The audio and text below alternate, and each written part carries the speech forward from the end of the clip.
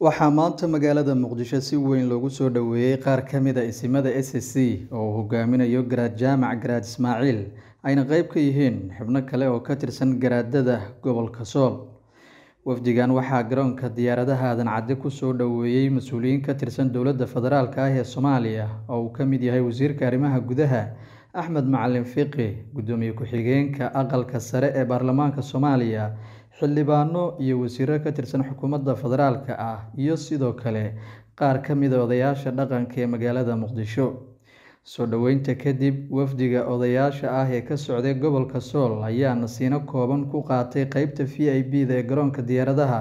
Waxaana halkaasi warbaahinta kula hadlay wasiirka wasaaradda arrimaha gudaha xukuumadda soomaaliya iyo sidoo kale ugaas maxamuud cali ugaas oo odayaasha ku soo dhoweeyey magaalada muqdisho. Kolley waa dhulkiinnii waa timaadeen. Waa dadkiinnii qaar ka mid ah. Idinkugu yimid magaalada laascaanood gobolka sool waxaan leenahay soo dhowaada garaada soo dhowaada. Waxaan rajaynaynaa socdaalkiinna iyo hawshiinnu inay guulaysataan idiin rajaynaynaa.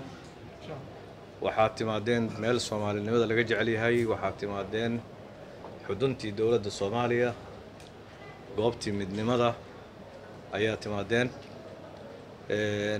Maalmahan deegaanadii ah ka timaadeen idinkaa ka warbixin doona way dhibanaayeen. Dadka meeshaas jooga waana la soconnaa.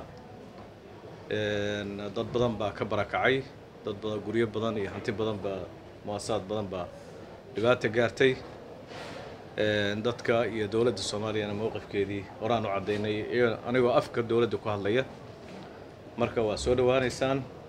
Sharaf iyo karaamo ku soo dhowaada. Intaad joogtaan magaaladan dhinaca kalena mid ka mid a odayaasha gobolka sool oo soo dhoweynta kadib warbaahinta la hadlay ayaa ka mahad celiyey sida diiran ee loogu soo dhoweeyey magaalada muqdisho waxaana uu faahfaahin ka bixiyey ujeedka safarka ay ku yimaadeen magaalada muqdisho.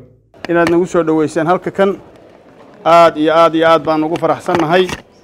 Taasi waxay ka turjumaysaa ficilkiinu wax kasta ha ahaadee inaad qalbiga nagala jirteen aadna rabteen ka xumaydeen waxa meesha ka dhacayey laakiin ninka habarta aasay wuxuu yidhi waa haddii axanku raaco.